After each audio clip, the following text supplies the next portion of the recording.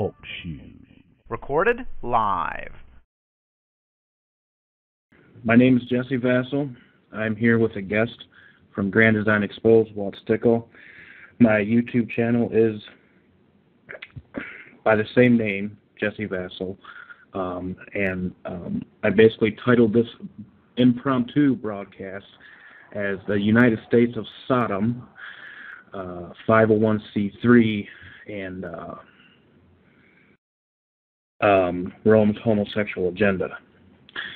Um, there's a, there's quite a bit of stuff I want to get to. If I can't get through all of the uh, information that I have pro- provided here this evening, then we'll have to probably do a part two of this, you know, the following weekend or or what have you. Um, so if you want to um, say anything, Walt, you know, before we officially get started, um, feel free.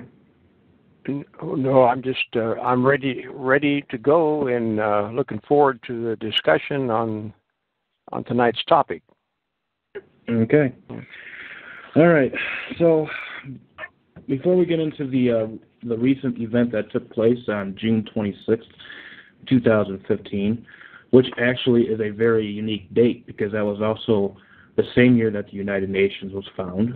You know, the same date, June 26, 1948, and in, in the year 2000, June 26, the United Religions um, Initiative was founded. Um, but um, as I'm starting to do with all broadcasts, I want to read real quickly the Gospel delivered by Henry Grattan Guinness out of his book Romanism and the Reformation, because I think that is important um, before we discuss any kind of prophetic significances of any current events, because Jesus Christ is at the center and He is on the throne and He is in control. So, remember that there is only one mediator between God and man, that there is but one sacrifice for sins, offered once for all and forever. Through the one mediator, by the one sacrifice, draw nigh to God, and he will draw nigh to you. You need no mediator between yourself and Christ. 1 Timothy 2 5, for there is one God and one mediator between God and men, the man Christ Jesus. The priest is a false intruder there, Jesus calls you to come to himself. He is both human and divine. He is bone of your bone and flesh of your flesh, yet without sin. God is in him. He is one of with us and one with God. Suffer nothing to come between your soul and him. Suffer no saint, no angel, no virgin, no priest to come between you and Jesus Christ. Go to him for the pardon of all your sins. Make to him your confessions. He can absolve you and will. Yea, he does. if you truly believe in him, priestly absolution is a lie. It is a blasphemous pretense. The sentence, I absolve thee, whether from the mouth of Romish priests or Protestant ministers, is profane. Be not de- deluded by it. Your fellow sinner cannot absolve you from the sins you have committed against God. Turn from these idols and vanities. Jesus is all you need. His blood is sufficient to atone and cleanses those who simply trust in him from all sin. Search the scriptures, they testify of him. Come to him that you may have life. His heart is touched with the feeling of our infirmities. None can sympathize as he can. None can help as he. To you, to each one, he says, Him that cometh unto me, I will in no wise cast out. Heaven and earth shall pass away, but my words shall not pass away. Lord, to whom shall we go? Thou hast the words of eternal life. Thou alone art all we need, for thou alone art all in all. John 5:39 Search the scriptures for in them you think you have eternal life and they are they which testify of me. That is the uh, gospel presented as uh, Henry Grattan Guinness presented it when he did his lectures and put them in a book on uh, uh, that's entitled Romanism and the Reformation. And I think that's very important uh, to note because even though we have a lot of uh, we've had the Supreme Court ruling that uh, ruled in favor of the politically correct term of homosexual marriage. Okay, and the ruling was five to four um, via the Supreme Court.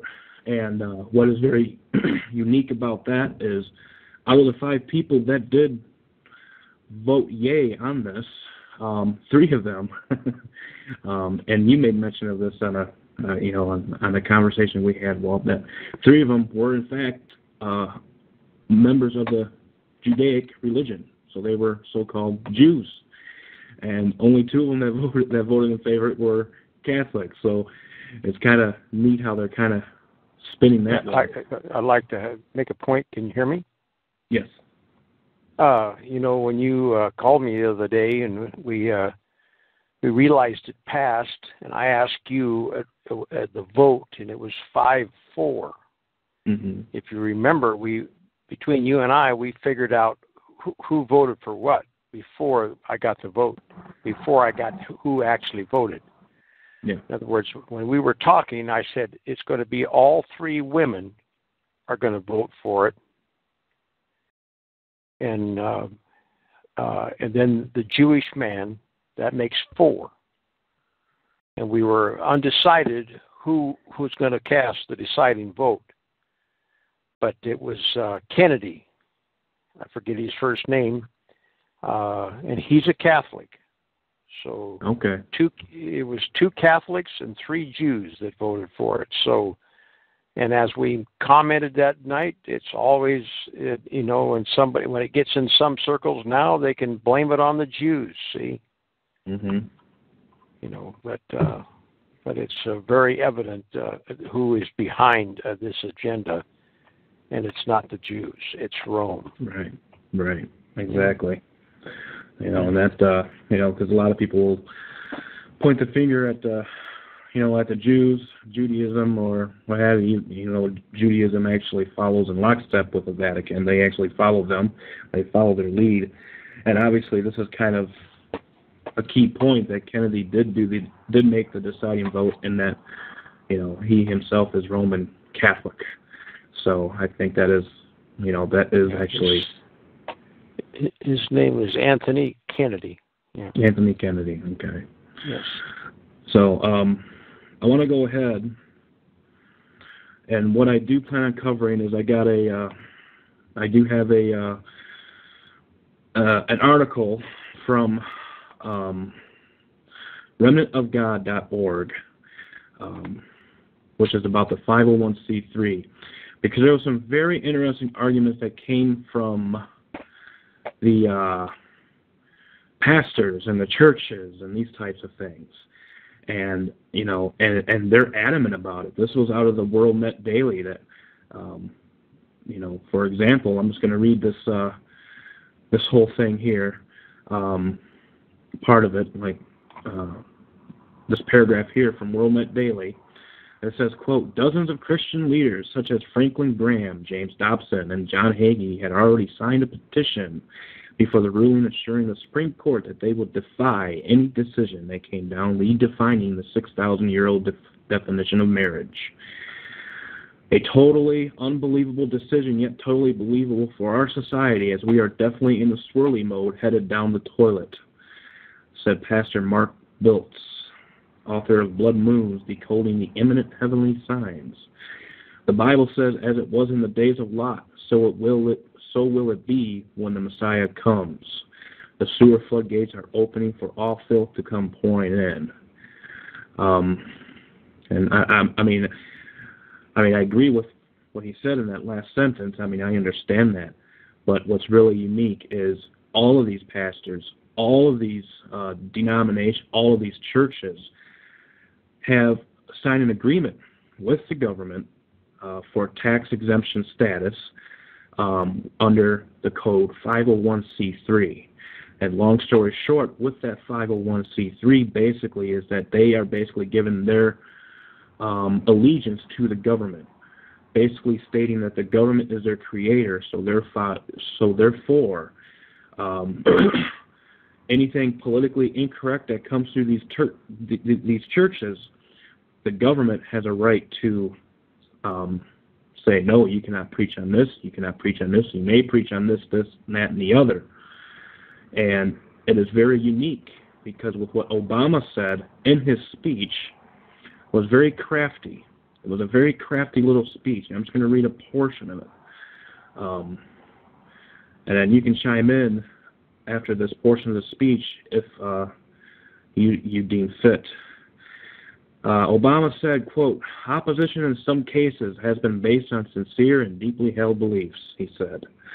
All of us who welcome today's news should be mindful of that fact, recognize different viewpoints, revere our deep commitment to religious freedom. But today should also give us hope that on the many issues with which we grapple, often painfully, real change is possible. He continued, abruptly switching gears, clearly implying that those who disagree must come around to the more righteous, more American, and more equal view of marriage. And this is what he said. This is very tricky the way he put this.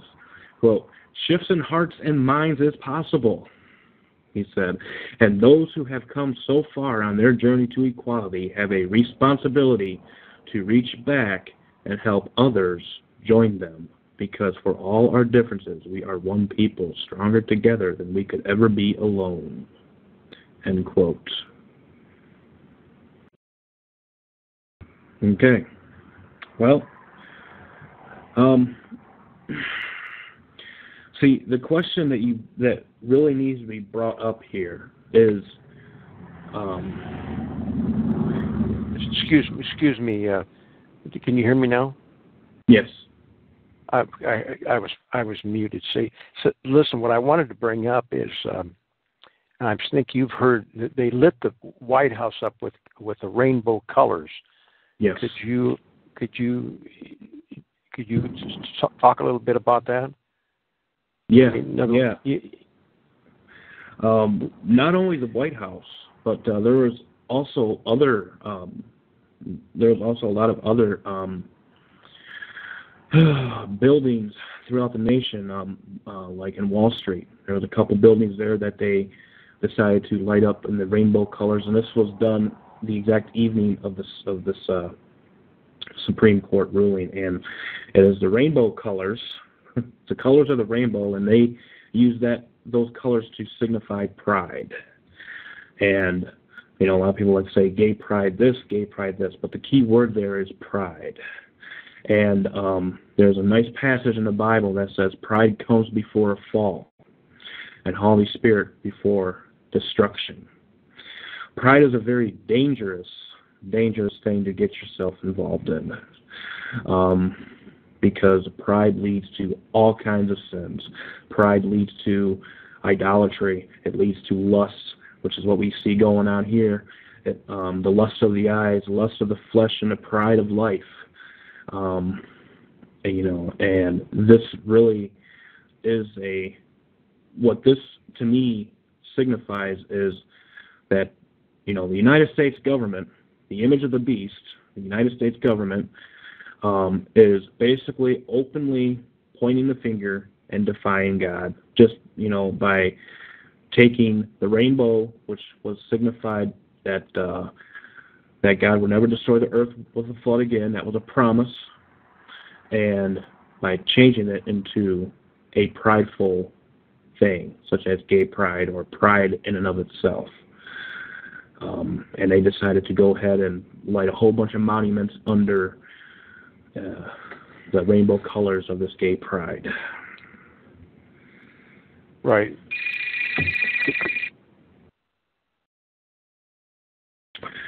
and um, and so that's basically how I uh, see what is going on as far as the colors and the lighting up, and you know the lighting of the, of the White House and you know certain key buildings in Wall Street and and these types of things, and you know, and and and really when it comes down to it, folks, you know a lot of people are talking about you know the this this gay agenda you know the this this whole the, you know sodomy and these types of things. And really what you have to go and look at is you have to look at is this the cause of something or is this the root?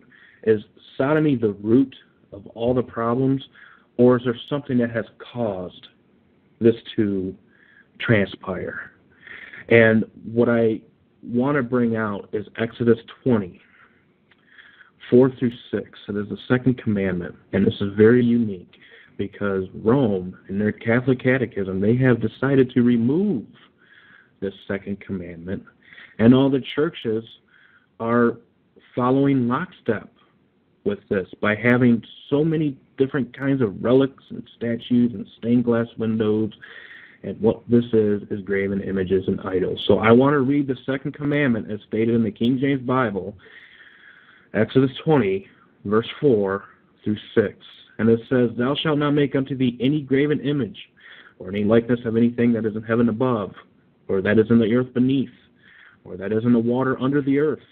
Thou shalt not bow down thyself to them, nor serve them. For I, the Lord thy God, am a jealous God, visiting the iniquity of the fathers upon the children unto the third and fourth generation of them that hate me, and showing mercy unto thousands of them that love me and keep my commandments. This commandment regarding graven images of anything that is in heaven above or the earth beneath has been completely removed by Roman Catholicism. And And and keep my commandments. Mm-hmm. Exactly. And so what happened is they moved every single commandment up one, and they took the tenth one, split it in two to make ten. So, and what's very unique is when God said in, in the middle of this commandment that He visits the iniquity of the fathers upon the children unto the third and fourth generation of the, them that hate me.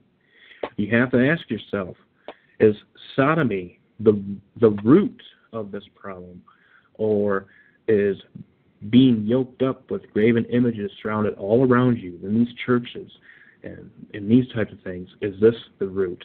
And is sodomy a cause of that root?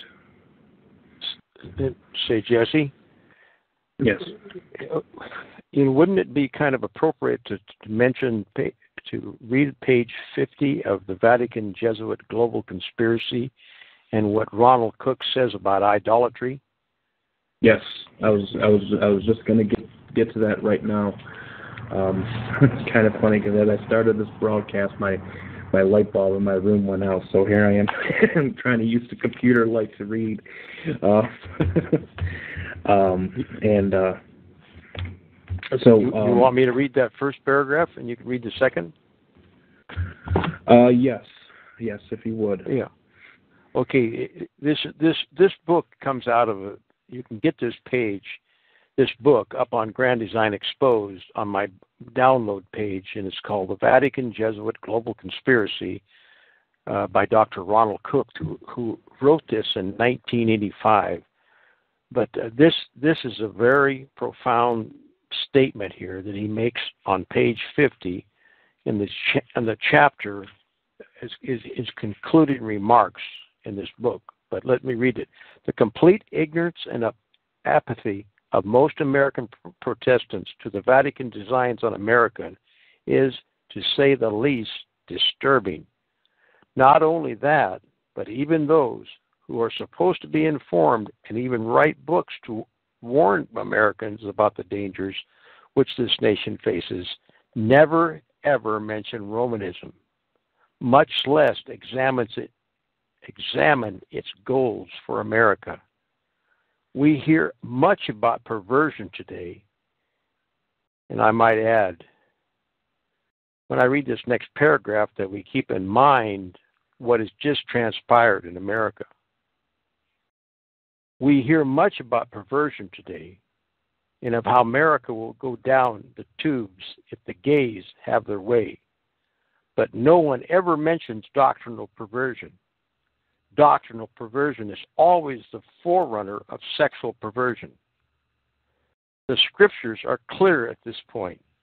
Even as they did not like to retain God and their knowledge, God gave them up over unto a reprobate mind to do those things which are not convenient.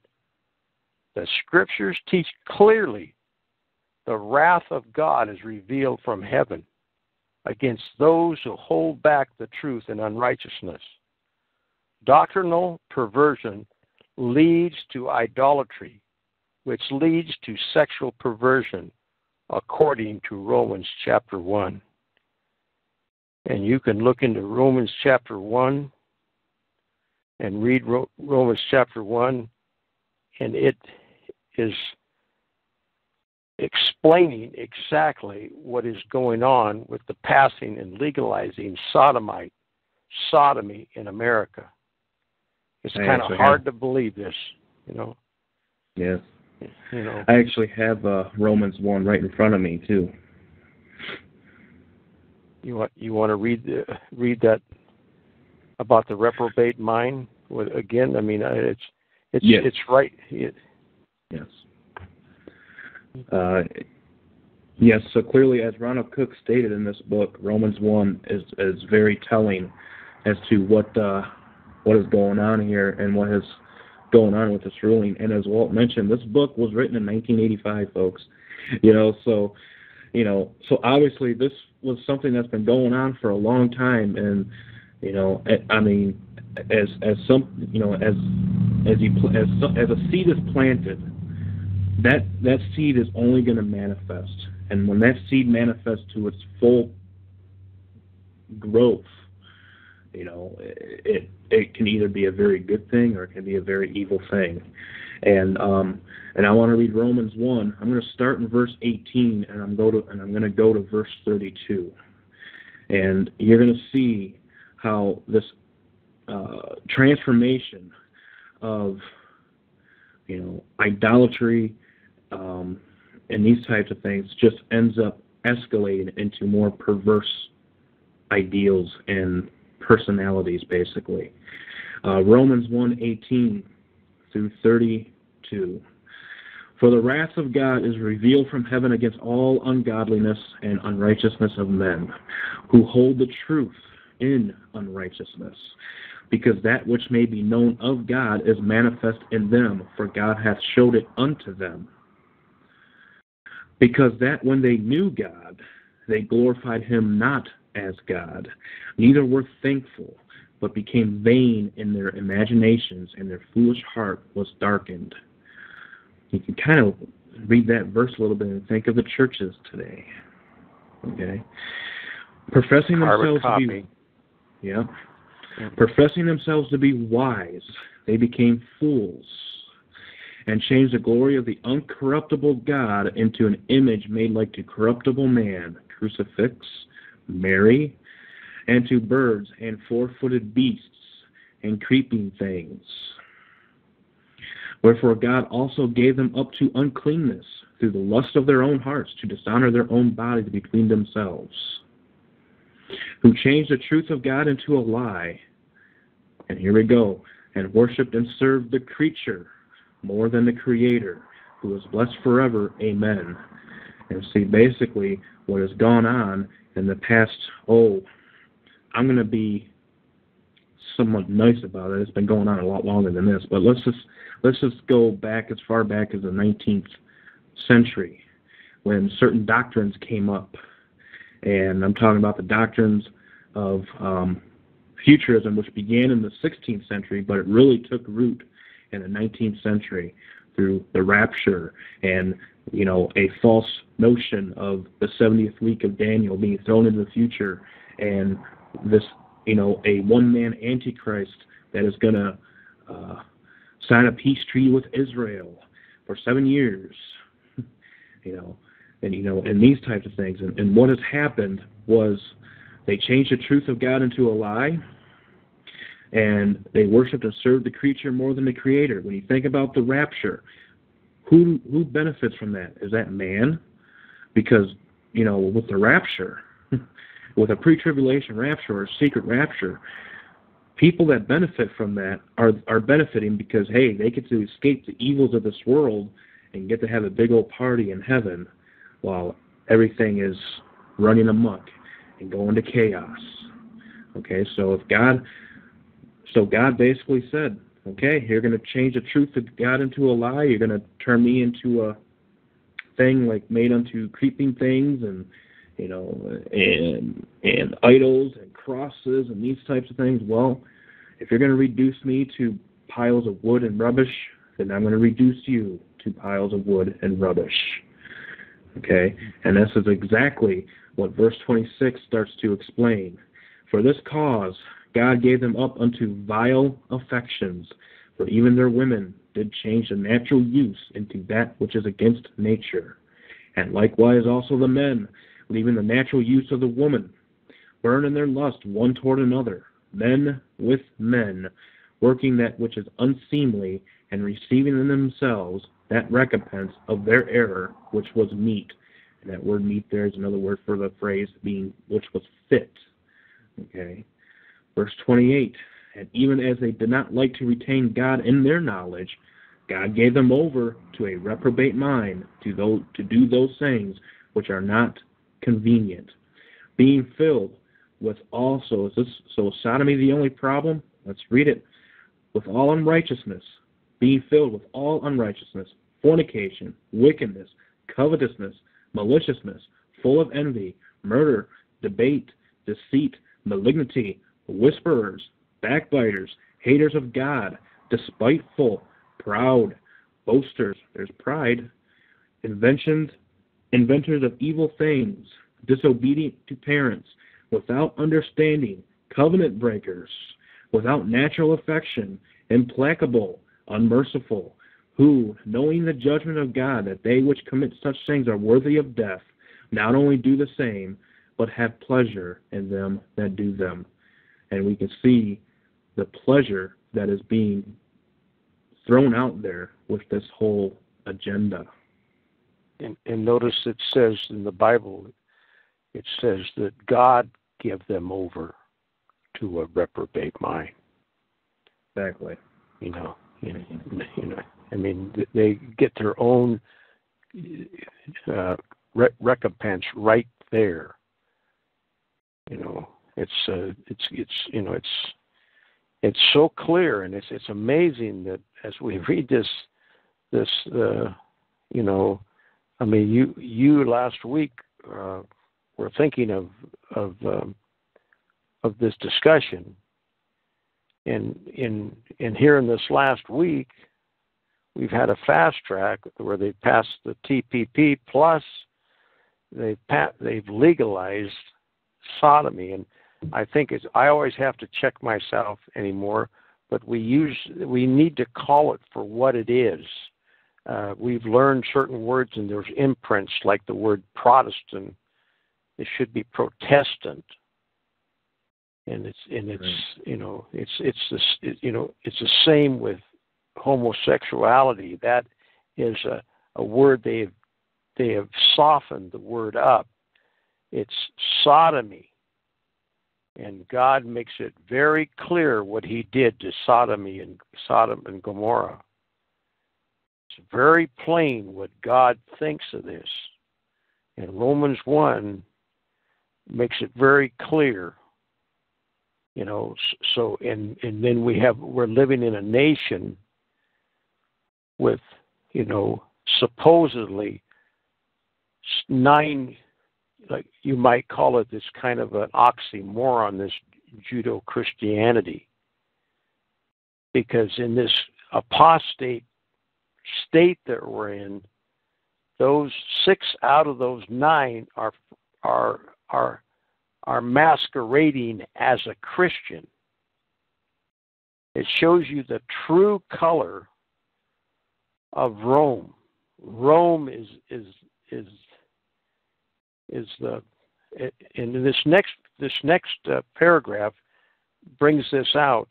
The last two paragraphs in this page 50. It says when when the Pope of Rome preaches the perverted doctrines of Romanism, enforced celibacy, purgatory, he is as much a threat to a to a pure American as any sexual pervert who clamors over gay rights. This is the truth that we must see today or perish as a nation. Impure doctrines of demons affect a society more than the impure actions of some of its members. The nature of our battle is spiritual. When the biblical truths of the Word of God, with which evil is defeated or replaced by the satanic drivel of false religion, that society which experiences the barrage of satanic drivel is every much as bad off as any secular humanist society. Secular humanism is not the only evil facing North America. In fact, North America has far more to fear from religious idolatry than it has from secular humanism. And that's what sodomy is. Sodomy mm-hmm. is idolatry. And the more the more Roman we get, the more the more idolatry we're going to have in this country. I mean, it's uh, it's uh, it's a, there's a there's a correlation between the two. The more idolatry you have, the more sodomy you're going to have. Yep, they all go hand in hand. They go hand in hand, yes. And uh, you know, and it's just uh, it's just as remarkable when you look at uh, when you look at uh, Luke 17, and uh, and you can really see what is going on here. Um, but what a lot of what many people fail to notice is, you know, words, little tiny words are important, and this is why the King James version of the Bible is very important because um, words are so important. Even a two-letter word you know, can be changed, and it just totally explains away the the actual meaning of this, uh, you know, of a passage, even a punctuation mark, and this is the case in Luke 17. You know, I mean, I hear, you know, I hear a lot of this phrase, "Pay attention to detail," and I I believe that wholeheartedly. That when you read the scriptures, you can't just read it like any other book. You have to really look at it and really look at the punctuations and you know the wordings. And if you have an uh, you know another Bible besides the King James, you know just look at the differences, and then you, and then you're going to see. But um, in Luke 17, 26 through 29 is very profound. Okay, that you know, uh, um, and it states, and as it was in the days of Noah, so shall it be also in the days of the Son of Man. Now, after what just transpired here in America, I think we became, you know, the uh, the 23rd country, I guess. I mean, I'm pretty sure it might be more, but um, the 23rd country that legalized uh, sodomite marriage. Um, but I'm pretty sure, you know, since America is that beast out of the earth, the United States government is that beast out of the earth in Revelation 13. Um, I'm pretty sure that there's going to be a lot more nations that follow this lead. Verse 27. I would uh, like to make another comment there, uh, Jesse. Also, the King James Bible is the only Bible that's not copyrighted. Right. And also, I, I've heard, you know, I, I don't like to get into this very because it's not up for it's really not up for debate. But Rupert Murdoch, I know, controls the NIV, and I think more than one Bible. All of these Bible perversions come from the Jesuits. Mm-hmm. And, what's, and what's between some, to give you an example, if you look up at Second Thessalonians and you read Second Thessalonians in the King James Bible, you know, it describes the the man of sin, the son of perdition. If you read the NIV, it's futurism. He puts he puts the man of sin that the NIV does, the man of sin and the son of perdition, out in the future. Don't let anybody kid you about about these perversions there's 30 and 40,000 there there's diff, there's thir, between 30 and 40,000 uh, differences between these different perversions. And things that are different are not the same. And I want to make one other example that I witnessed myself. I was in Salem, Oregon years ago this is years ago. And I went into a secular bookstore, Christian bookstore, and the King James Bible was not on the shelf. Now, you know, and and and, and if you're really, if you really are, I mean, if you're a doubting Thomas, just think about it. The only Bible that is not copyrighted is the King James Bible. Two and two is 4 Mm-hmm. Black is black. White is white. And these Bible perversions are Jesuit Bibles. And if somebody's quoting them, that's their. I I'm not going to. It's not. It's. I'll tell you this about the Bible. The Bible. These Bible perversions. I compare it to my my faith is not up for debate. And when it comes to, to the point like abortion, it's not even debatable. It's not even if we have to if we have to differ in anything, it's just not up for debate. Now, Christ, now evolution and creation they started that debate between creation and evolution, and they've pressed it into every university in every university in in in the world. And the first thing they do with evolution creation is to attack your faith. But as we understand these perversions, we understand these dialectics that they put in front of us. It's not up for debate. I've heard some things this last week said about the King James Bible. I hear one of them. I'll is one of them is that King James was a sodomite. That is the biggest piece of perversion, and people believe it. There wasn't a thing said about King James the First until 25 years after his death. Nobody called King James I a sodomite when he was alive. And to what and what are they doing with this kind of stuff? Is to discredit God's word. This is a very important point, and like I said, I just had something this today in the last couple of days listening to several people it's just astounding how they attack the King James Bible. And, and, and with common sense, the, the reason that I read the King James Bible is because it's the only one that's under attack. That should be a giveaway.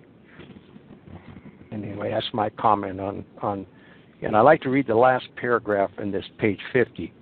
Jerry Falwell, Billy Graham, Francis Schaeffer, and Ronald Reagan are all working to defeat the secular humanist. But none of them even has one word to say about the religious idolatry which curses America. Which curses America. Apparently, it is all right for that to flourish. In other words, as long as a person can say he is religious, he is not considered a threat to the freedoms that many Americans still hold dear. Now, isn't that what we're experiencing? Six out of nine Chief Justices are masquerading as Christians, and 3 mm-hmm. pseudo Jews. Masquerading. Those three Jews are masquerading as Jews. And those six Catholics are masquerading as Christians. Their vote and their decision last week to legalize sodomy is, is proof in the pudding of who runs this country. The Roman Catholic Church, Mystery Babylon. And I might just add here the man of sin, the son of perdition, is to visit here, to visit and speak to a joint session of Congress in September. Anybody that's been reading their Bible and has read Revelations 13, Revelation 17, it paints a perfect picture who the son of the son of perdition and the man of sin is, the Antichrist, and that all every single every single reformer pinned the tail on the donkey. It's it's so this last two weeks to me, listeners, it's it's so evident what is going on. There shouldn't be any speculation on our part if you've got your head in God's Word. Not in the NIV, not a perversion. Because the NIV talks about a future Antichrist. The King James Bible talks about a man of sin, singular, the son of perdition.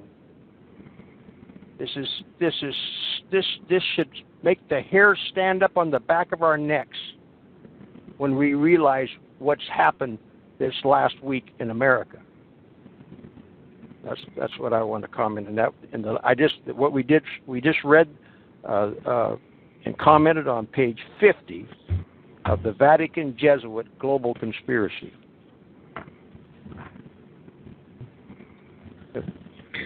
It's uh, pretty amazing when you think about it, and uh, especially that last uh, paragraph. And you know, I got I got I got uh, a couple seconds here, and then I'll pause real quick, and then we'll uh, continue uh, with Jerry Falwell, Billy Graham, and these types of things. And then with a little quote that I read with these pastors that are uh, um, going so against us, as as you see that being mirrored you don't see any of these pastors or anything recognize the idolatry going on in this nation or the the imagery and you know the idolatry which is the forefront of this whole problem which is what brought us to this point of sodomy being legalized. Um, so let me go ahead and pause for uh, about five or six seconds and uh, we will continue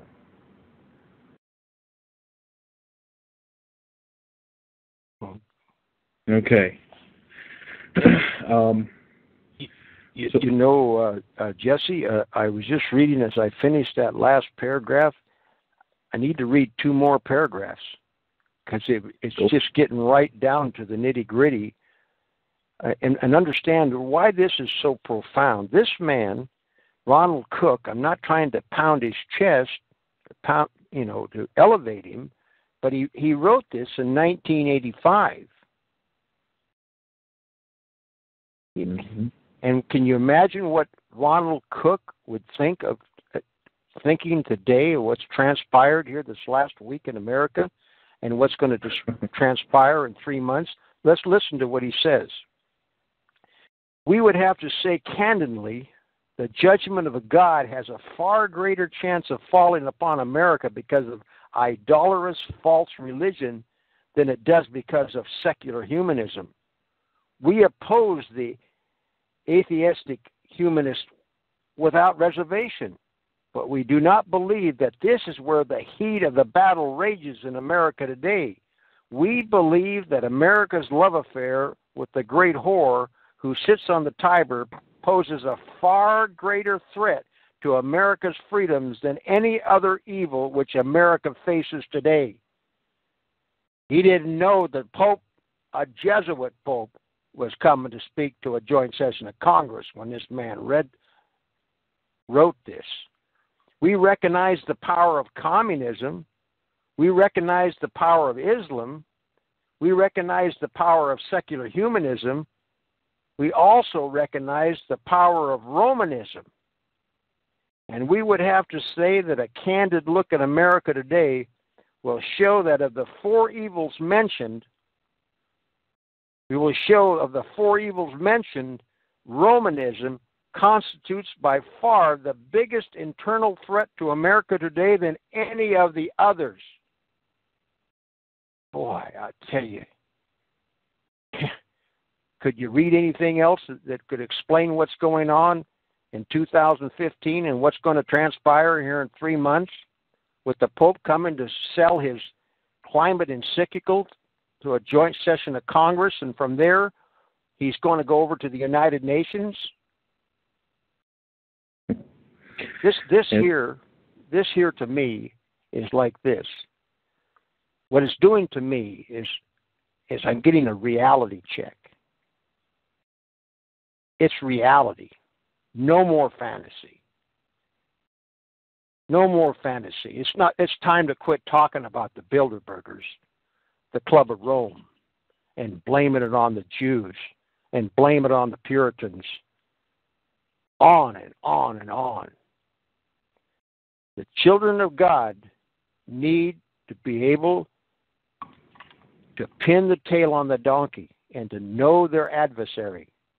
And that adversary, that I that superstitious, idolatrous mystery, mystery Babylon,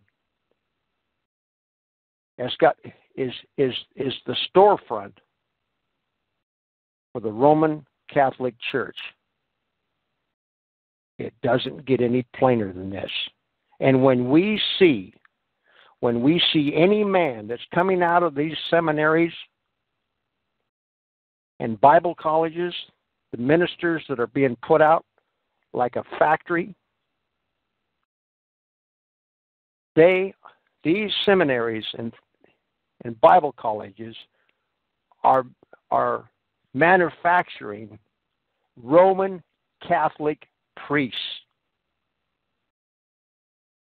That's why we are able to see a Jesuit Pope come to speak to our joint session of Congress. Because every single one of these ministers that are graduating and coming out and teaching futurism are counter Reformation. This is a profound, we're living at a time in a week. I tell you, I was a little tired coming here tonight thinking of some of this. It, it, you know, but what can you do? It's reality. But you know what it does? Only, only a child of God is going to see this. The Bible in this country, not the government, there was a time early, on the very early part of this country, that they did print the Bible. Yeah, it was printed. It was a cornerstone. Our government never was a Christian government, but the people were and it's been proven you can pass all the laws you want, but that doesn't make somebody obey the laws. It, it's because of the seed of the Protestant Reformation and the seed prior to 1776. That's our heritage. That is the seed and that's what this country, it's got a lot of ills.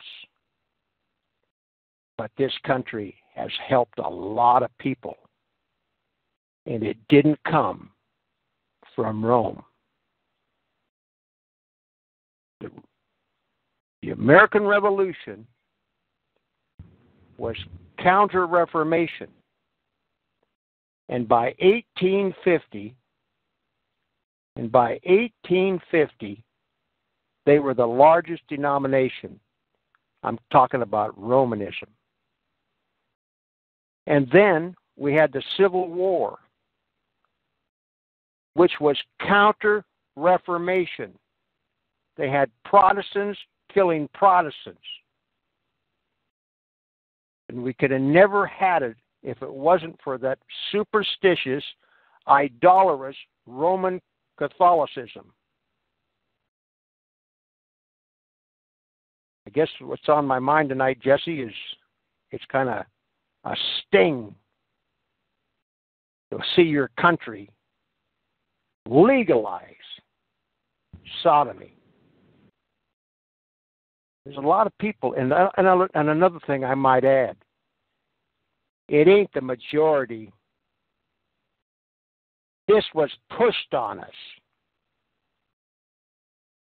This was pushed on us by a by a Roman Catholic Supreme Court that is interpreting the Constitution.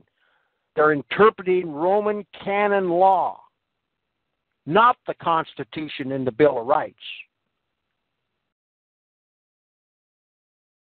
And something you're hearing here tonight, I realize nobody's talking about what's really happening.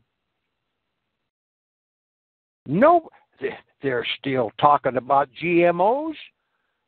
They're still talking about vaccines. And it's important. These are important topics. But it's amazing. I was just out today for a little bit. And I, I was talk I was talking to a fellow. I was helping him on his computer. and and you know, you know, he, he didn't know about TPP. Hmm. I said, and he didn't know that we had became a sodomite nation, not a homosexual. It's not homosexual. It's sodomy.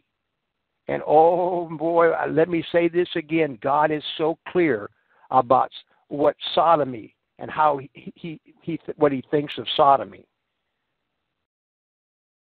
So anyway, I, I appreciate you letting me run a little bit, Jesse, but uh, my heart's bleeding a little bit, but it's in the right place. I'll take it, give it back to you. I I totally understand, um, and it's uh, you know when and when you know when Ronald Cooke mentioned um, the aspect of idolatrous false religion, um, you also got to put in a notion that uh, where does judgment begin? begins in the house of God, and uh, you know, and that's uh, that's that's a very big time reality gut check there. Um, that it was it, it's uh, it's a lot of passive Laodicean, lukewarm. I am I am rich and in need of nothing Christians that have uh, totally forgotten, um, you know, the historic uh, view of prophecy and, um, a, you know, and prophetic facts, and that has led this uh, false religion of idolatry to creep in.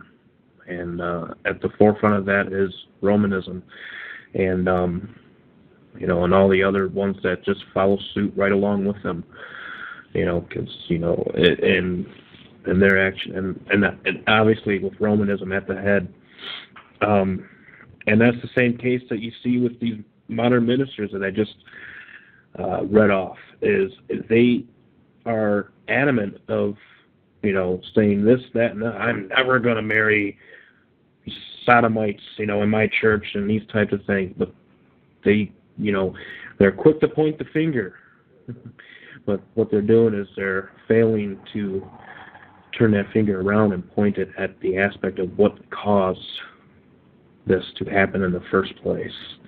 Um, and that leads me to Luke 26 through 29, which says, and as, and as it was in the days of Noah, so shall it be also in the days of the Son of Man. They did eat, they drank, they married wives. Now there's a comma there, so this is a separate aspect here. And they they married wives. They were given in marriage. So they weren't only marrying wives in Noah's day. You had, you know, uh, you had sodomite going on there, you know, because you know in Genesis it says men's hearts were evil continually. That's all they did was evil, evil. That's all it was until the day that Noah entered into the ark. And the flood came and destroyed them all. Likewise, also as it was in the days of Lot, they did eat, they drank, They bought, they sold, they planted, they builded. But the same day that Lot went out of Sodom, it rained fire and brimstone from heaven and destroyed them all. And if you doubt that, all you gotta do is look at a couple of documentaries regarding Sodom, and you know there's still remnants of the sulfur that rained down in that area, uh, and and it has been a testimony for at least at least if you know I'm just going to take a guess at this at least about four forty five hundred years.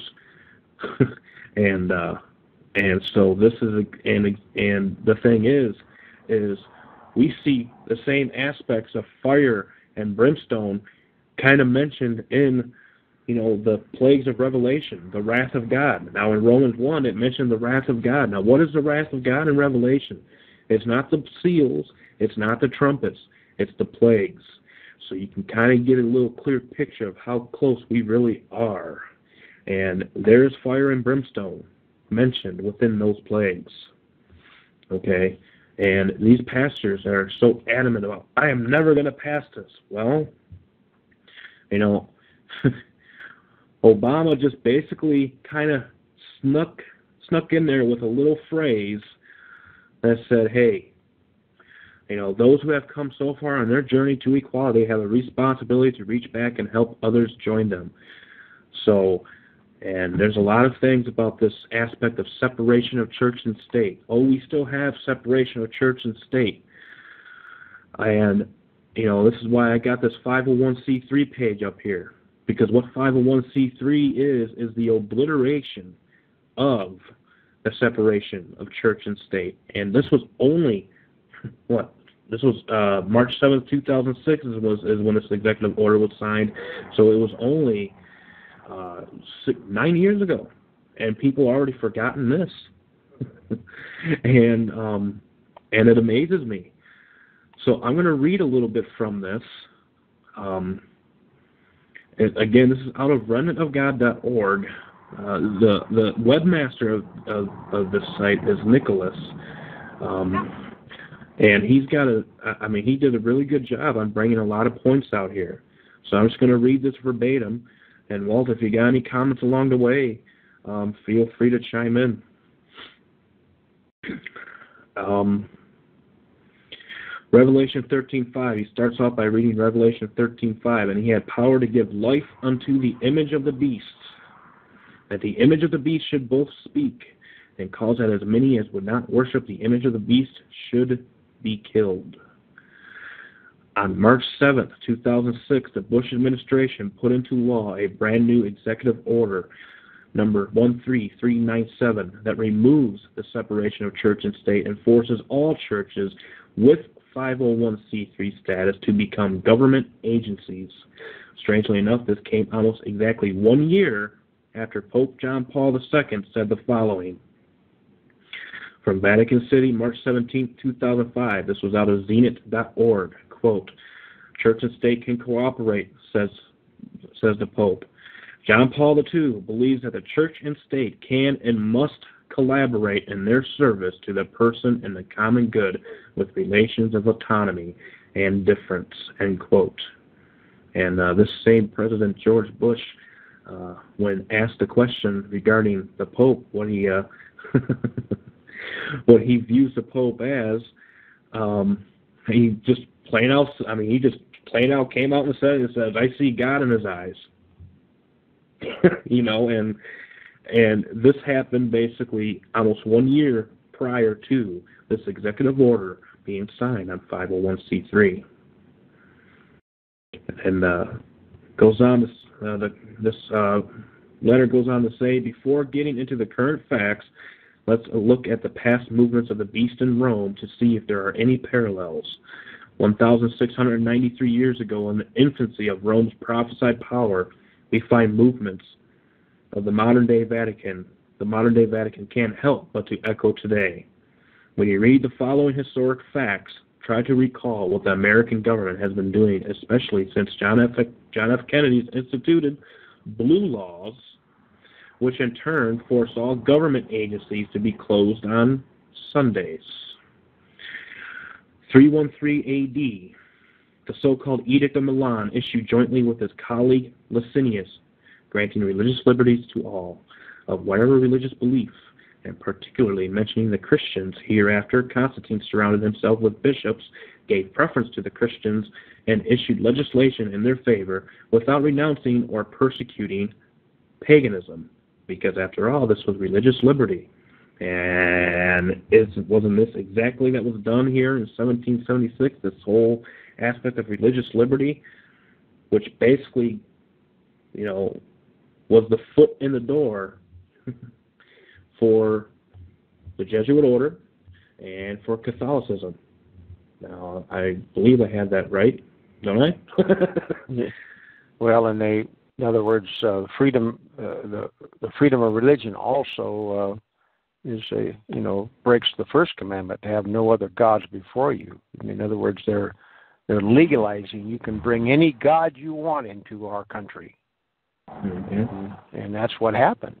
They did. They brought a superstitious, idolatrous religion that you know, and which which they helped with immigration, and the fact that uh, Rome always is after the civil powers, you know, and and what what's interesting, like this 5013, you know, people cannot see the connection they cannot see the connection that it's Rome who is putting the lid on these on these churches. They can only mm-hmm. say so much. They can say anything they want to say, except they can't say anything about Rome. You know, it's it's uh, and it's it's amazing how people want to deny it. this. Well, I heard a fellow just the other day in this broadcast. He said there was never any you know, separation of church and state. Well, absolutely, it was built in. It wasn't written in a, such a way. It, it, it didn't specifically uh, say separation of church and state, but it was it was built into the Constitution. That, that it was built it was built into the Bill of Rights. Right. In other words, they didn't they didn't want to take orders from a pope or a king. And they didn't want any church to take over the civil power. Why? Because they all, even the people that the enlightened ones, even they knew they knew who goes to the top. When you look at the Dark Ages, who do you think controlled the civil power? You know, it it it it, was the Roman Catholics. It was the Roman Catholics that con- controlled the civil power. I mean, the, the the church itself didn't. In the they they weren't the ones that were out there dragging people down into the torture into the dungeons for torture and, and arresting them. No, it was a civil. It was they did it legally. They had they they legislated laws. The same identical thing that's happening today. They're legislating laws that are suppressive. Mm-hmm. Everybody has felt ever since 9 11. And who wrote who wrote the Patriot Act, but a Jesuit from Georgetown University. That's where it was written. I can't. He's a Vietnamese. I I don't know. Do you know his name? Uh, not. D. D uh, anyway, he he he was a constitutional lawyer there at Georgetown University, and uh, the Patriot Act was already uh, written and ready to go into action. And guess where it was written? At Georgetown University. This this is getting to me as I as especially this last week. I mean, you realize, and the you know I I, you know, as a child of God, we are appealing to God's children that have an ear to hear and eyes to see. But you see, in this world, when a man does not have when man does not have a relationship with his Creator, with Christ, with the Bible, evidence doesn't matter. And it, it makes it all the difference in the world when you see the evidence that we're seeing this last couple of weeks and what's happening here in 2015. The only way you can deny what's going on right now is you have to deny evidence. That's the only way. And our Mhm. evidence, our evidence, our cornerstone of learning is God's word. And it and it and it's not 70 different versions. Right. It's it's not it's not 70 different versions. It's not 70 different different Bibles that are 30 and 40,000 different changes in each one of them. Anybody with two neurons running can realize what they've done. I want to go back to those Bibles just a little bit. You see, it was the New World Translation that broke the ice. Up until the New World Translation, and that was the Jehovah Witnesses, you see, there was only they were only reading one Bible, the King James Bible. But they broke the ice with the New World Translation. And then the next one that came along that just br- broke the floodgates was the NIV. And after the NIV knocked down all the, the, the floodgates and it was overflowing, the last time I I was I researched this, there was over there was over seventy versions, and I'm sure there's more. I, I I even met a fellow two years ago that that wrote his version. So I know there's probably well over 70 versions, maybe probably 80, 90 versions of the Bible.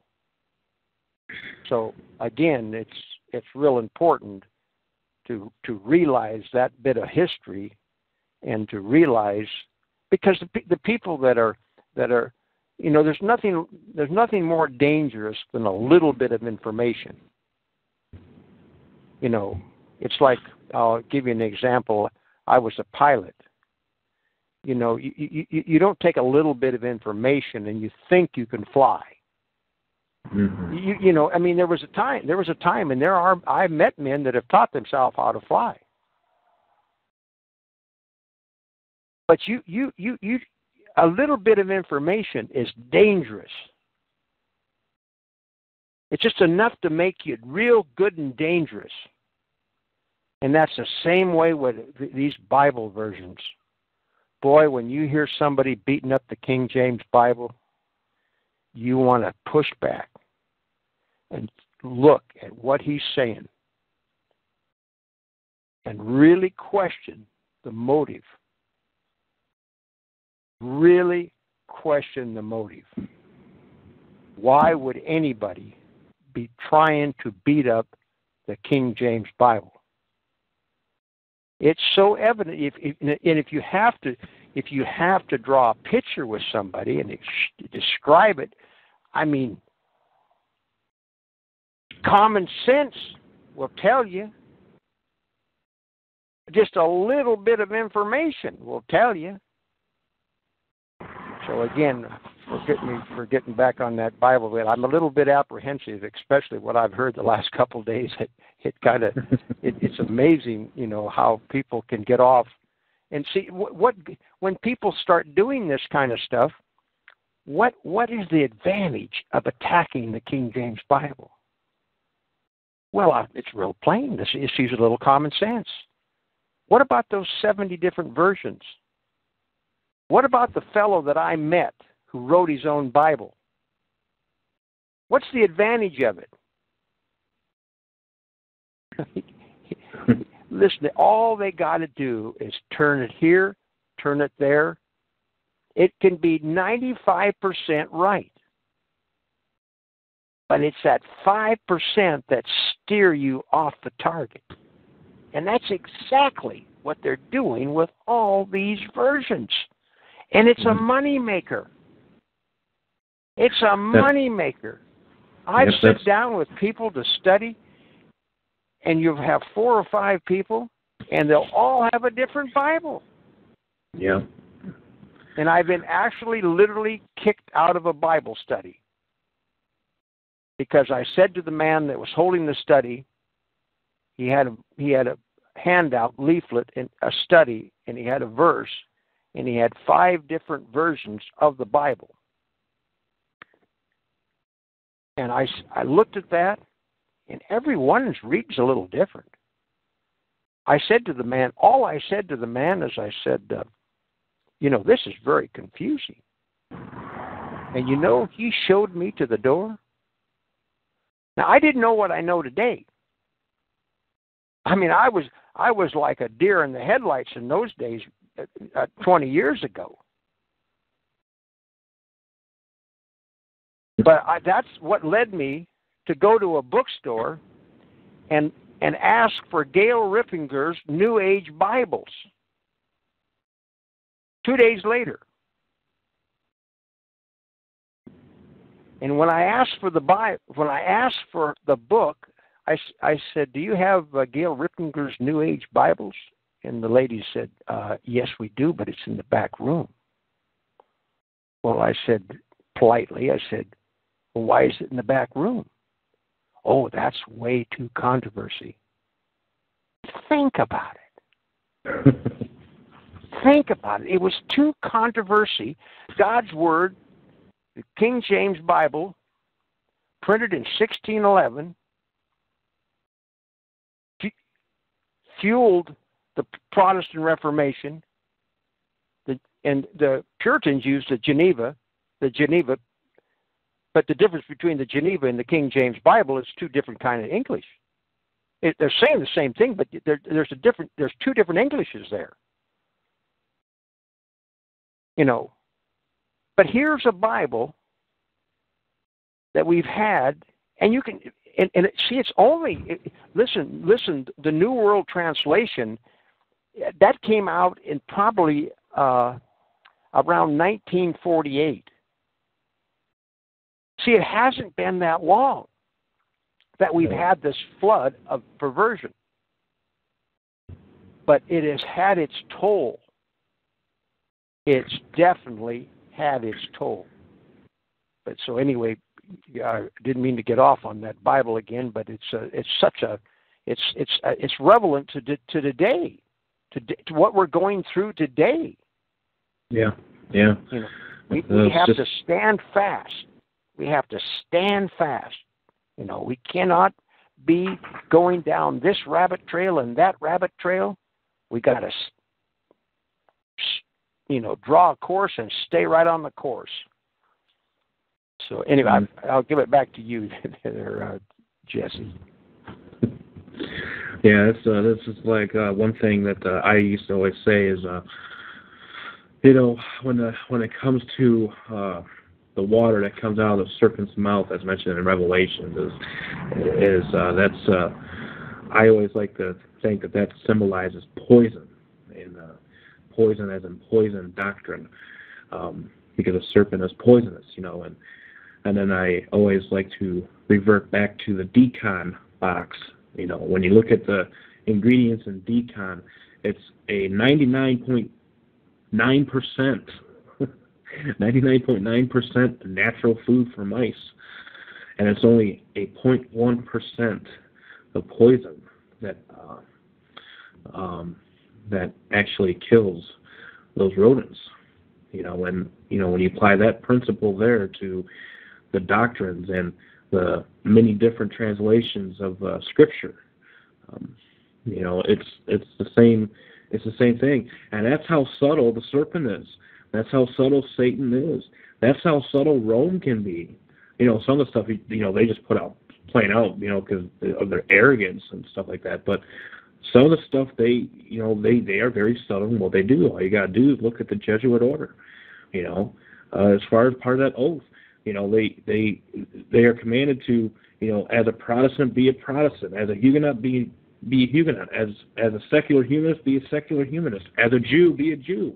You know, so you know, so you know, you can see the earmarks of Satan all over, uh, the Roman Catholic Church and the Roman institution and the Jesuit order. I mean, you, I mean, you can see it, you know, and it's it's and they'll throw truth at you, but they'll also throw that little bit, a tiny bit of leaven, and that is what you have to watch for. And it's very easy to fall for the leaven because sometimes the leaven can be oh so comforting, you know, and um, and this is exactly what's going on with this 501c3. And do you think for an inkling that Hagee and all these people that are going are so against this is gonna is gonna want to get rid of their uh, their tax-free statuses? You know, I mean, they're they're gonna accept it. They they they will accept the uh, orders that uh, they are to follow. And uh, as another uh, couple paragraphs I will read here, um, states that, uh, continuing on this 501c3 article, is says, as I have said numerous times before, just because the Pope wants the USA to form an image to itself doesn't mean that will happen. In order for it to come to fruition, you must have a Protestant leader stand up, demand the same thing, using, of course, a grassroots campaign. Well, back in October of 2002, Pat Robertson's Christian Coalition held a rally in D.C., straightforwardly snubbing both the Scripture as well as the American Constitution regarding separation of church and state. Prophecy bluntly states that the lamb-horned beast, which is actually the United States government, will make an image to the beast, Revelation 13:11, before Christ arrives so as to better enforce the beast's mark upon mankind. Let's quickly look at the facts, shall we? Fact the Vatican State has been both a church and a government since circa 313 AD. Another fact is, as of March 7, 2006, the USA is now officially a church and state form of government using the 501c3 tax exempt status. Prophecy has already blessed us with rock hard evidence as to the true nature of the Vatican and its agenda. All prophecies that speak of the beast or Antichrist have been proven fulfilled by the popes of Rome for both scriptural as well as historically documented proof on that period or on that statement. And he goes on as, as follows by saying, Visit my characteristics of Antichrist page in the warning section of the website. Now that we know who this beast is, how can any government form an image of it? First off, it would have to obviously become a church and state entity. Still, the main image of this beast is not only about melding church and state, the true agenda behind all this is control, to put it bluntly. Rome has all along gone directly and quiet and quite openly, I might add, against Christ's suggestions regarding separation, separating the church from the state. I have literally hundreds of articles that show Rome's not so hidden agenda regarding forcing the USA government to form an image of their form of government upon the American people and the world at large. That section of the website became so large because because of all the articles that I literally had to split it into four separate pages. Sometime after starting the research, I decided to stop updating the page because there were far too many articles coming in. It was that obvious. Rome has been attacking both the Constitution as well as the church and state separation for decades, and now they have what they worked so far for. Now, and he goes on as follows. Um, uh, in the next paragraph that Pat Robertson um, has pushed very hard for this removal of church and state, and he also has evidence that Pat Robertson is actually a Catholic Jesuit. Pat Robertson um, actually has called for many so-called assassinations. He has called for assassinations, and he condones assassinations and these types of things. And you know when you follow the chain behind assassinations, you I mean you know who was at the forefront of that. And uh um it's just uh it's just very amazing to see all of this transpiring, okay? And um I mean and just uh another thing that is be that uh he has here is free speech will not be allowed in churches. Uh oh. This was from Wednesday, October 2nd, 2002. This was only 13 years ago. Agape Press News Briefs. After a tough debate last night in the House chamber, Congress Congressman Walter Jones' House of Worship Political Speech Protection Act was voted down this morning. If it had passed, this bill would have freely allowed political speech inside churches without the fear of the loss of tax exempt status with the Internal Revenue Service. Okay? So this image of the beast, this separation of church and state is done. It's gone. And uh, you know, and another thing I want to um, make light, you know, make mention here is the aspect of the Capitol building. okay, Capitol, and actually it kind of goes along with Capitoline Hill as one of the seven hills of Rome. The Capitol building, actually, when you look it up on Google Earth, actually mirrors exactly St. Peter's Basilica, and they actually face each other. And so does the obelisk in Rome and the monument. They face each other. In fact, up until Ronald Reagan, when a president was to give a swearing in ceremony, um, they always did it um, on the West Front, I believe. But after Ronald Reagan, uh, they switched it to where now. it was after, just the opposite, uh, Jesse. Okay. The, the the East Portico is where they did it. Okay, and then they switched Yeah, to the West yeah. Front.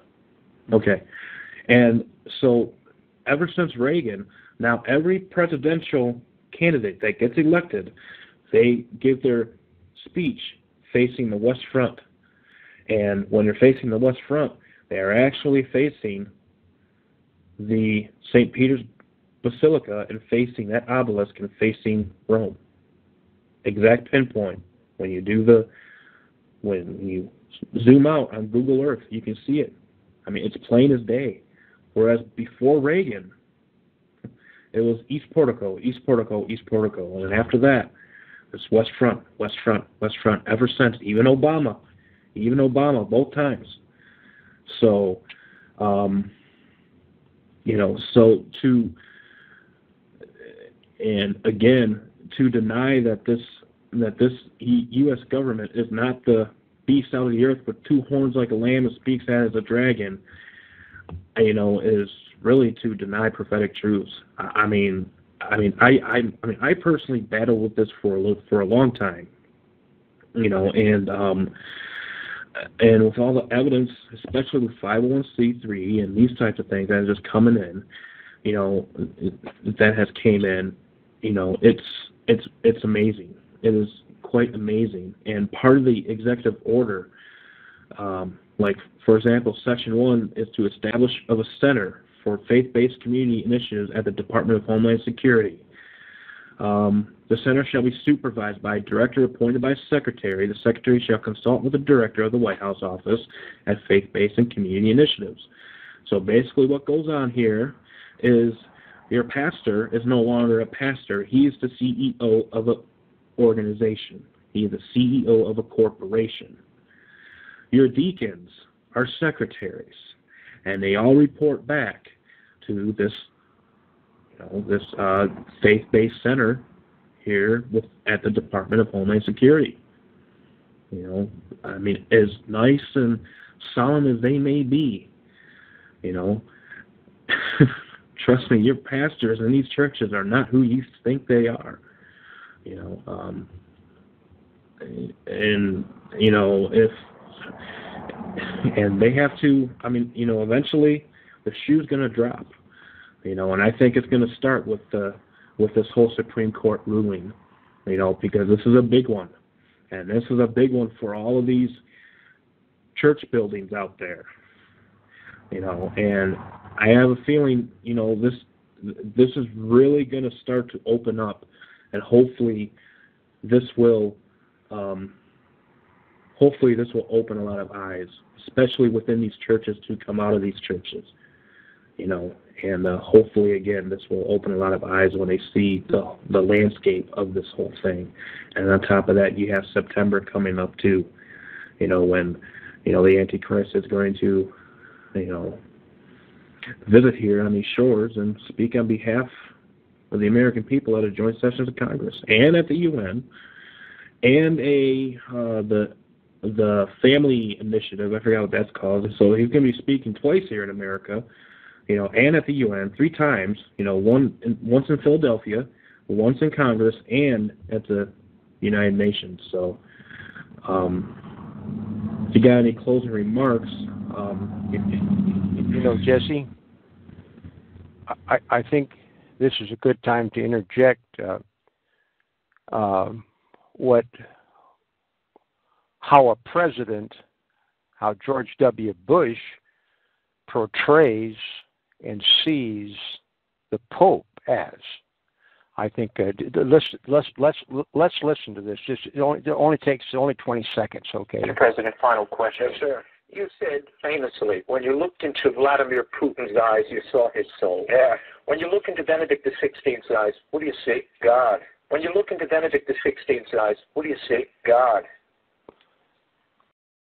Good way to end the interview. Thank you, sir. Thank you, sir. My- well, I think that's the best way to try to define what uh, what our government thinks this man is. Here's mm-hmm. the president telling us that um, that God's coming to speak to us. Yeah, exactly. I mean, it's uh, it's a time for reality. See, people are too busy and and uh, they're not living in reality. See, and they they've lived in so much uh, the magic kingdom and everything that uh, and see see to to live in in fantasy you you've got to ignore evidence. Right. See? just like uh, playing that little uh tape. Well it's it's it's evident you know what the government thinks of this man. The president of the united states says that you know he looks into his eyes and sees god see so it's a it's not us. I mean, this is reality. They're right. playing this little game, this biggest fraud. The, the Roman Catholics, uh, the, the the Pope is probably the biggest show on earth, but it's it's attracting a crowd. Oh yes. Oh, yes. I mean, I mean, why? Why? Because people are living in fantasy. They they've been to Disneyland one too many times. Yeah, yeah, yeah. That's uh, they've taken they've really taken good. this.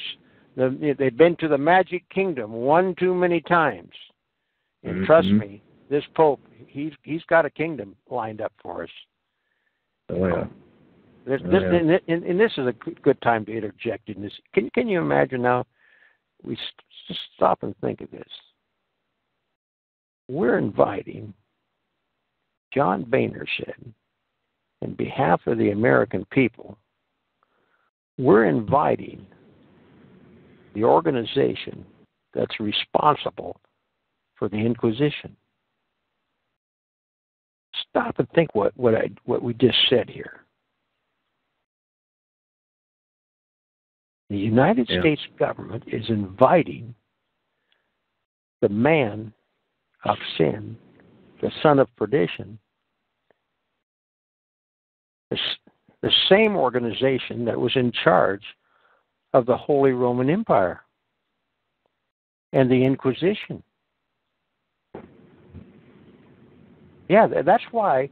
That's why you know it's not. It's it's quit. It's time to quit talking about the globalists and the elitists and the and the, uh, the Club of Rome and the Jews and on and on and on. It's time. To, it's time to get off our little horse and and say, well, no, I'm I'm tired of Disneyland. I want the real thing now. Right. Oh, it's it's yeah. it's, it's it's it's hard for me. It's hard for me. I mean, I've got to have patience.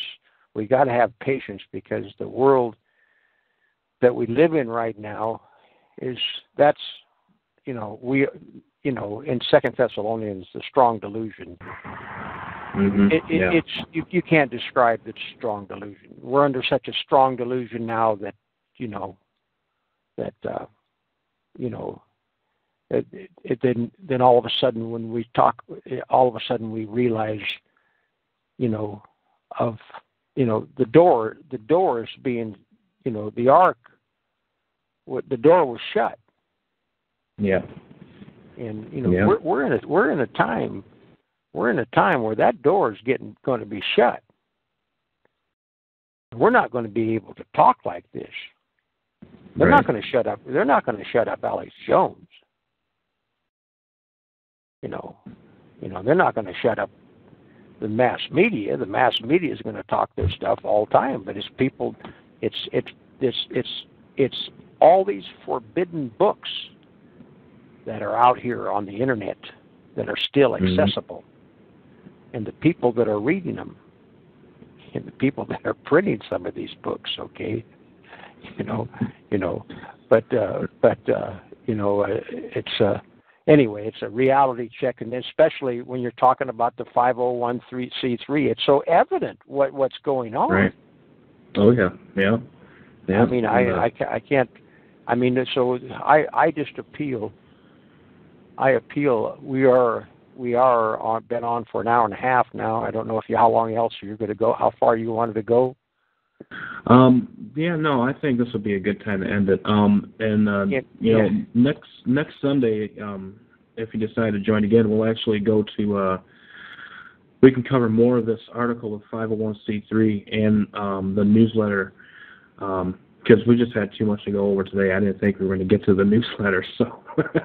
um, but yeah, um, we can go ahead and end this broadcast now, and we will uh, have a Yeah. part two of this uh, the following Sunday. Yeah. So know, all, all you got to do is uh, is stop the recording, and then we can have a little uh, visit here. okay, all right. So Yeah. good night, everybody. Okay. Okay. Don't and don't hang up. Mhm.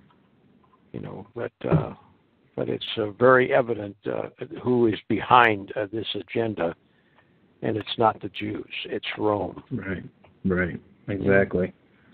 You know, and that uh, you know, because a lot of people will point the finger at uh, you know at the Jews, Judaism, or what have you. You know, Judaism actually follows in lockstep with the Vatican. They actually follow them.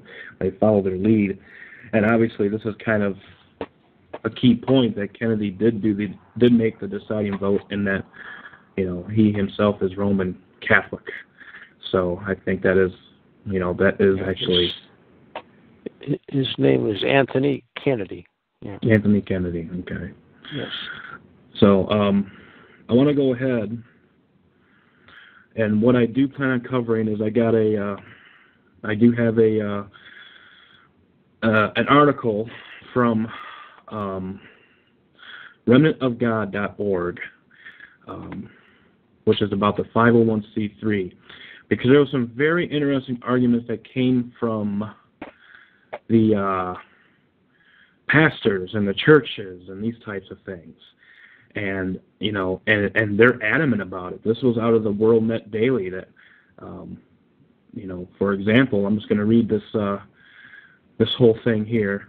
Um part of it like uh this paragraph here from world net daily it says quote dozens of christian leaders such as franklin graham james dobson and john hagee had already signed a petition before the ruling assuring the Supreme Court that they would defy any decision that came down redefining the 6,000 year old def- definition of marriage.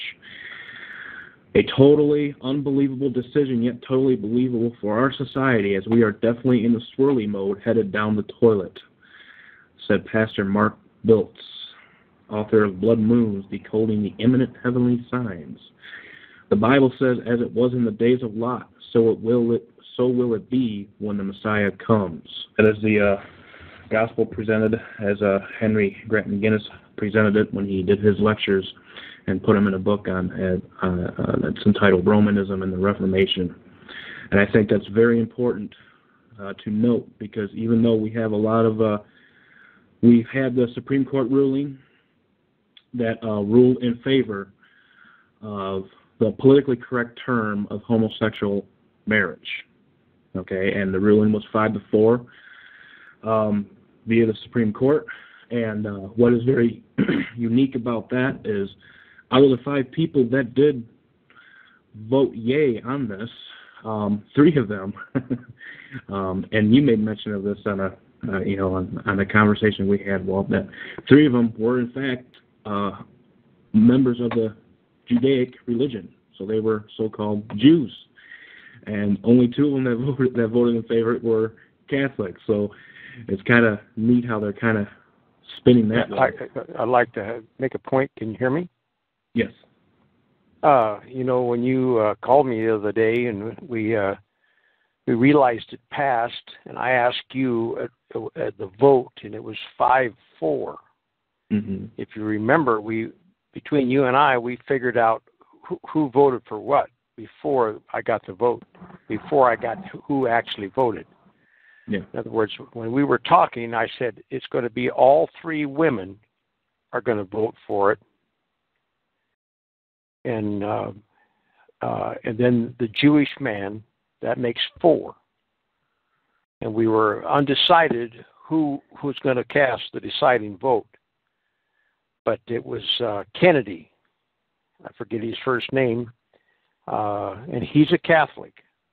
So Okay. two it was two Catholics and three Jews that voted for it. So and as we commented that night, it's always it, you know when somebody when it gets in some circles now they can blame it on the Jews. See, Mm-hmm. The throne, and He is in control. So, remember that there is only one mediator between God and man, that there is but one sacrifice for sins, offered once for all and forever. Through the one mediator, by the one sacrifice, draw nigh to God, and he will draw nigh to you. You need no mediator between yourself and Christ. 1 Timothy 2 5, for there is one God and one mediator between God and men, the man Christ Jesus. The priest is a false intruder there. Jesus calls you to come to himself. He is both human and divine. He is bone of your bone and flesh of your flesh, yet without sin. God is in him. He is one of with us and one with God. Suffer nothing to come between your soul and him. Suffer no saint, no angel, no virgin, no priest to come between you and Jesus Christ. Go to him for the pardon of all your sins. Make to him your confessions. He can absolve you and will. Yea, he does. if you truly believe in him, priestly absolution is a lie. It is a blasphemous pretense. The sentence, I absolve thee, whether from the mouth of Romish priests or Protestant ministers, is profane. Be not de- deluded by it. Your fellow sinner cannot absolve you from the sins you have committed against God. Turn from these idols and vanities. Jesus is all you need. His blood is sufficient to atone and cleanses those who simply trust in him from all sin. Search the scriptures, they testify of him. Come to him that you may have life. His heart is touched with the feeling of our infirmities. None can sympathize as he can. None can help as he. To you, to each one, he says, Him that cometh unto me, I will in no wise cast out. Heaven and earth shall pass away, but my words shall not pass away. Lord, to whom shall we go? Thou hast the words of eternal life. Thou alone art all we need, for thou alone art all in all. John 5:39 Search the scriptures, for in them you think you have eternal life, and they are they which testify of me. The sewer floodgates are opening for all filth to come pouring in. Um, and I, I, I mean, I mean, I agree with what he said in that last sentence. I mean, I understand that, but what's really unique is all of these pastors, all of these uh, denominations, all of these churches have signed an agreement with the government uh, for tax exemption status um, under the code 501c3. And long story short, with that 501c3, basically is that they are basically given their um, allegiance to the government, basically stating that the government is their creator. So therefore, so therefore, um, anything politically incorrect that comes through these th- th- these churches, the government has a right to um, say no. You cannot preach on this. You cannot preach on this. You may preach on this, this, and that, and the other. And it is very unique because with what Obama said in his speech was very crafty. It was a very crafty little speech. I'm just going to read a portion of it. Um, and then you can chime in after this portion of the speech if uh, you, you deem fit. Uh, Obama said, quote, opposition in some cases has been based on sincere and deeply held beliefs, he said. All of us who welcome today's news should be mindful of that fact, recognize different viewpoints, revere our deep commitment to religious freedom. But today should also give us hope that on the many issues with which we grapple, often painfully, real change is possible. He continued, abruptly switching gears, clearly implying that those who disagree must come around to the more righteous, more American, and more equal view of marriage. And this is what he said. This is very tricky the way he put this. Quote, shifts in hearts and minds is possible, he said, and those who have come so far on their journey to equality have a responsibility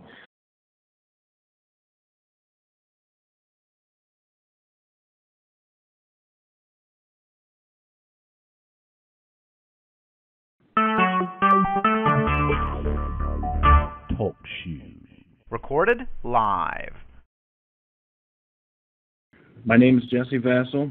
I'm here with a guest from Grand Design Exposed, Walt Stickle. My YouTube channel is by the same name, Jesse Vassal. Um, and um, I basically titled this impromptu broadcast as the United States of Sodom, uh, 501c3, and uh, um, Rome's homosexual agenda. Um, there's a there's quite a bit of stuff I want to get to. If I can't get through all of the uh, information that I have pro- provided here this evening, then we'll have to probably do a part two of this, you know, the following weekend or or what have you. Um, so if you want to um, say anything, Walt, you know, before we officially get started, um, feel free. No, I'm just uh, I'm ready ready to go and uh, looking forward to the discussion on on tonight's topic. Okay. All right. So before we get into the uh, the recent event that took place on June 26th, 2015, which actually is a very unique date because that was also the same year that the United Nations was found. You know, the same date, June 26, 1948, and in, in the year 2000, June 26, the United Religions um, Initiative was founded. Um, but um, as I'm starting to do with all broadcasts, I want to read real quickly the gospel delivered by Henry Grattan Guinness out of his book Romanism and the Reformation, because I think that is important. Um, before we discuss any kind of prophetic significances of any current events, because Jesus Christ is at the center and He is on